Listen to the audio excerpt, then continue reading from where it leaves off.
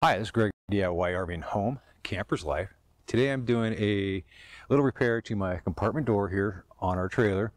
And I've noticed for quite some time that uh, the center right here at the bottom of the door is bowed out.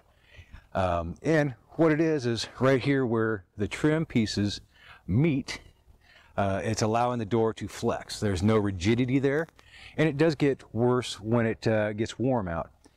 So my solution is I'm going to take and put a brace right underneath here.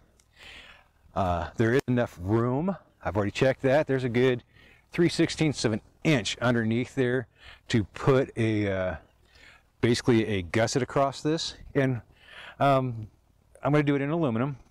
And what I did is I uh, found a piece of aluminum right here. And what it is is actually it's a license plate.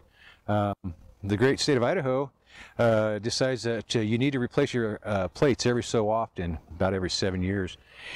So we got a few of these lying around, and uh, so I think this is going to be the trick. I've cut it down to about a half inch wide. Uh, it was almost four inches, three and three quarter inches long. And then I just marked out center, and then went uh, an eighth of an inch off of center for the um, first hole, and then I've got a second hole about three eighths of an inch um, in from the outside edge. So what I'm going to do is I'm going to go ahead and position this, drill some holes, and then I'm going to put some eighth inch rivets with an eighth inch uh, grab on. So I'll put four of those in place, and that should be enough to get this straight again to where you know I'll be happy uh, without having to uh, replace the whole door. Now I did contact the manufacturer of the door, which is uh, LCI. Uh, they did give me the proper part number and did uh, also give me a price for it, which is not too awful out of the park for replacing the whole door. But at the same time, I do have some graphics here that uh, would be uh, lost. Um, not much, but there is some graphics there. And if I could do it this way, um, I've got nothing into it. So let me get this thing set up and we'll get this repair done and see how well we do. So now I've already got my uh, eighth inch bit in my drill. You can see I got my third hand here. What I'm going to do is I'm just going to go ahead and set this in place where I need it to be. And I'm going to go ahead and attach one side, uh, both rivets on one side, and then I will uh, flex the other side into position and then drill it. So center uh, between the two center holes.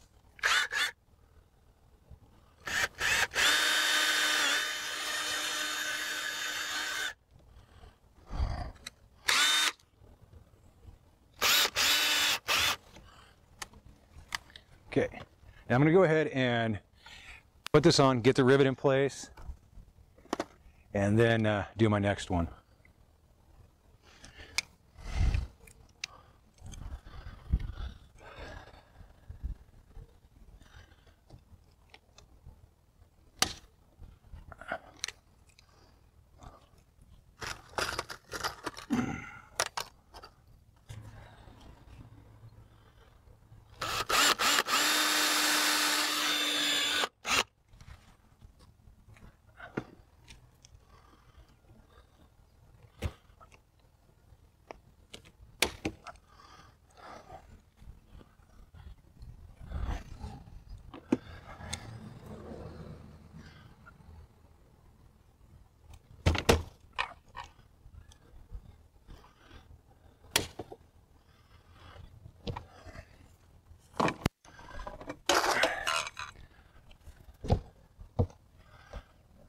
Okay.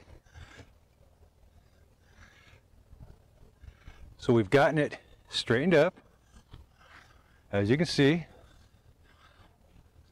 when it closes, it looks a whole lot better. Let me uh, go ahead and lock it.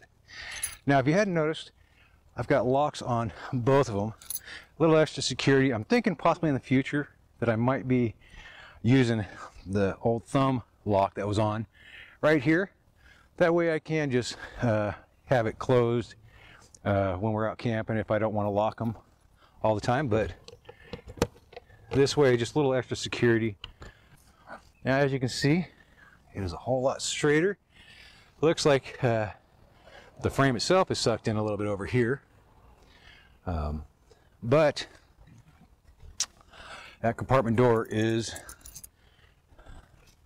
now almost completely str- straight. Get this unlocked. See you. There's just a little bit of a bow to it. Now that I can live with. All right, now so after uh, shutting the camera off, I kind of looked at it a little bit more, and I kind of thought I can do a little bit better on this uh, repair. It still had a little bit of a bow to it, not too much. So what I did was I went ahead and added two extra holes to the um, brace and then put rivets in there. Now what I did when I uh, did that to drill it is I actually used my third hand here, kind of got underneath this and I flexed it over straight so it had slight bow in and then made my holes and then when I put the rivets in it's actually putting a little extra tension right there and it looks a whole lot straighter. Looks a lot better so. Anyways if this helped you uh, fix your door please hit the like button subscribe and share. And until the next one happy camping